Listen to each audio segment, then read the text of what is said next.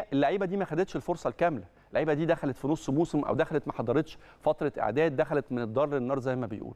وعلى كل الأحوال أنا واقفة مع صفقات الأهلي ومع الأسماء أو المراكز اللي بيحتاج الأهلي إن هو يدعمها في حلقة النهارده. بس خلينا نروح لزميلنا محمد توفيق. عندنا ماتش مهم جدا بكرة. أنا ما زلت بأكد إن كل ماتشات النادي الأهلي لغاية لما نوصل لمرحلة حسم البطولة في منتهى الأهمية وفي منتهى الصعوبة نروح لمحمد توفيق من أهلي الجزيرة.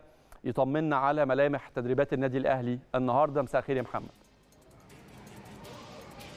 مساء الخير زميل عزيز أحمد. تحياتي ليك ولكل مشاهدي ومتابعي قناة النادي الأهلي في كل مكان. أهلا بيك. يعني بداية طبعا ماتش أو مباراة ما زالت. أنا بشوف إن كل ماتشات الأهلي في الدوري مهمة جدا وإنه حتى اللحظة ما زالت فرصة قائمة. فالمهم إن إحنا نحافظ على الفرصة بداية من مباراة بكرة أمام فاركو. ونطمن منك على تدريبات الأهلي ونطمن منك على الوجوه اللي ممكن تكون بترجع مرة ثانية وفي إمكانية تكون بتشارك في مباراة بكرة.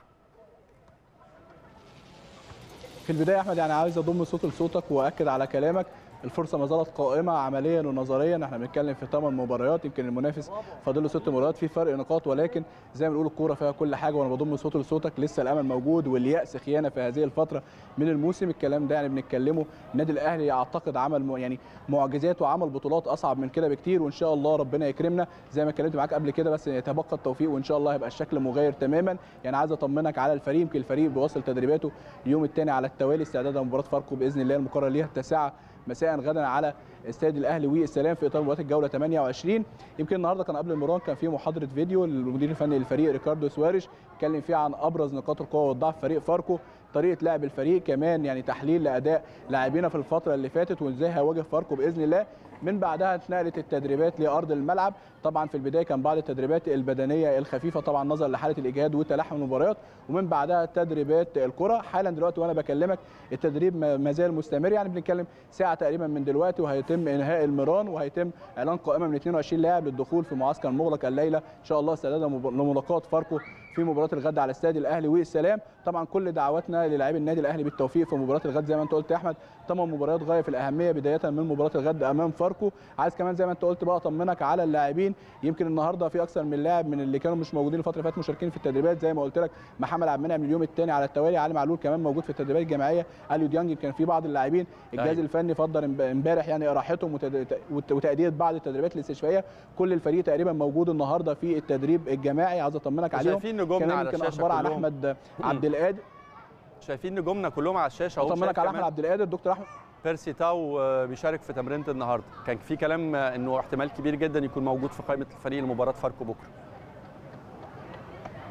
بالفعل يا احمد يمكن بيرسي تاو بقاله فترة أو تقريبا أسبوع مع الفريق في التدريبات الجماعية يتبقى بس يعني الإشارة من مستر ريكاردو سواريش بوجوده في قائمة المباريات. عايز كمان أطمنك على أحمد عبد القادر وأطمن كل جماهير النادي الأهلي. دكتور أحمد عبد أكد لي إن هو عنده شد في العضلة الخلفية وإن شاء الله خلال 10 أيام هيكون في موجود في التدريبات الجماعية. كمان صلاح محسن عنده إجهاد في العضلة الخلفية أيام قليلة إن شاء الله وهيقضي بعض التدريبات الاستشفائية وهيكون موجود أيضا في التدريبات الجماعية. كمان نجمنا حسين الشحات حابب أطمن كل جماهير النادي الأهلي عليه. أجرى الحمد لله العملية بنجاح هو موجود في قطر حاليا أيام قليلة جدا وهيصل إلى القاهرة بإذن الله لاستكمال بقية فقرات برنامجه العلاجي والتأهيلي وإن شاء الله يعني بنتكلم تقريبا في شهر هيكون موجود بإذن الله وبيجري حوالين الملعب. نتمنى السلامه طبعا يا أحمد لكل لاعبي النادي الأهلي سواء اللي بيعايدين من الإصابة إن هم يكونوا موجودين معانا الفترة الجاية بشكل قوي وكمان اللاعبين المصابين يرجعوا في أسرع وقت إن شاء الله. ويتبقى زي ما أنت اتكلمت يا أحمد في البداية طبعا مباراه أقوياء محتاجين بس توفيق ربنا وربنا يبعد عنا الإصابات وإن شاء الله الأمل ما زال موجود يا أحمد وبإذن الله يبقى النادي الأهلي دائما في المقدمة ويبقى دايما رقم واحد.